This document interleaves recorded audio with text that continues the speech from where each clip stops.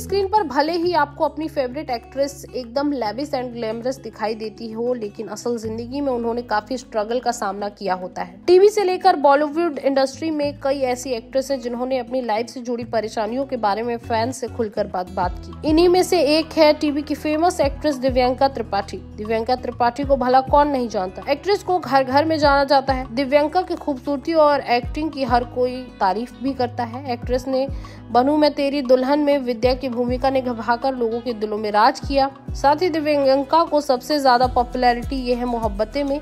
इशिता भल्ला के किरदार से मिली। लेकिन क्या आप जानते हैं कि भोपाल से छोटे पर्दे तक की ये जर्नी दिव्यांका के लिए आसान नहीं थी? दिव्यांका त्रिपाठी ने इस मुकाम तक पहुँचने के लिए काफ़ी स्ट्रगल किया। हाल ही में उन्होंने एक इंटरव्यू में खुलासा किया कि शुरुआती दिनों में उस समय उनके पास एक कुत्ता भी था ताकि वह खाना खरीद सके और बिल भर सके।